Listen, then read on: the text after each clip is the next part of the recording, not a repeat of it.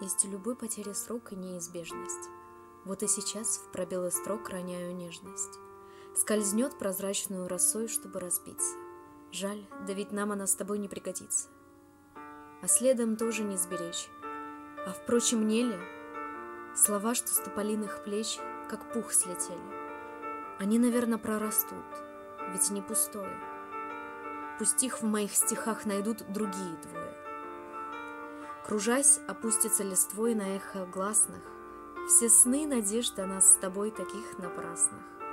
Их тоже важно потерять, а вдруг нужнее, А не тому, кто будет ждать еще сильнее. А мне уже в мечтах твоих не отыскаться. И те, кто любит нас двоих, пусть не боятся. Тебе ведь тоже не вернуть свою потерю. И в это я когда-нибудь и сам поверю.